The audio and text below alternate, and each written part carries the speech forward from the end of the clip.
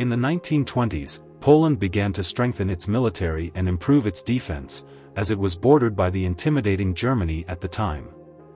Unlike other countries, Poland did not have the capacity to build large-scale fortifications like the Maginot Line, so it focused more on conventional military development.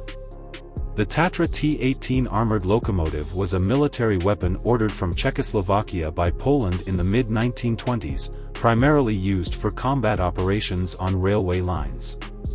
The order was placed with the Kopervnikov factory in Czechoslovakia, which had no prior experience in manufacturing armored locomotives, having previously produced various types of train carriages.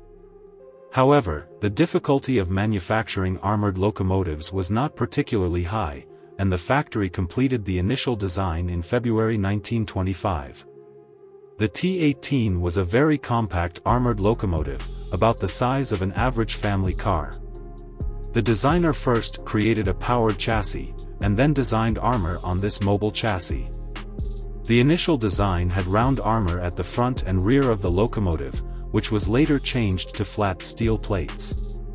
These armor plates were only 6 mm thick, with the turret position having 8 mm thickness, providing protection against 7.62 mm caliber Mauser S bullets at a distance of 100 meters.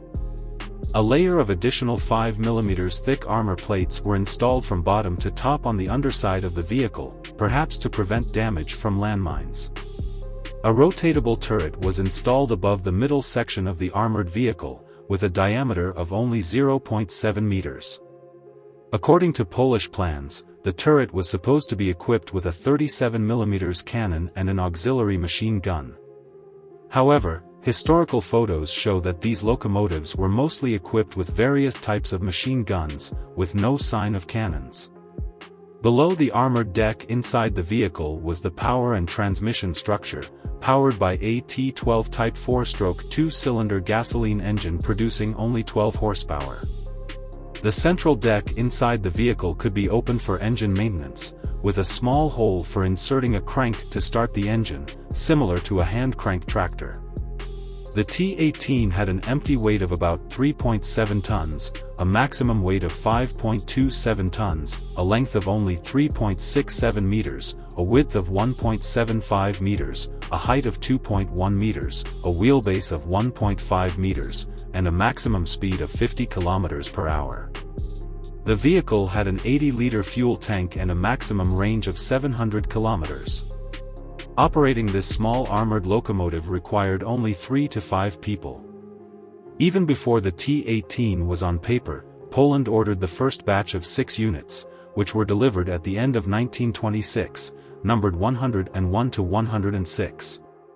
In later production, multiple periscopes were added to improve crew visibility, the turret armor was appropriately enhanced, and an electrical system was installed inside the vehicle for a searchlight at the front of the locomotive, which could emit either red or white light. Although Poland was not very fond of the Tatra T-18 in the early 1930s, considering its weak armor protection, firepower, and mobility, and deeming it an outdated weapon, they still retained them and painted them in various camouflage colors. Until the outbreak of World War II in 1939, T-18 was still in use in the Polish military. In the first few days of the war, these armored locomotives participated in combat and were targeted by aerial bombings or anti-tank guns. They all fell into the hands of the German army, most of them damaged. It is reported that the Germans may have used one or more of them, and modified the armor to asterisk asterisk asterisk asterisk asterisk asterisk.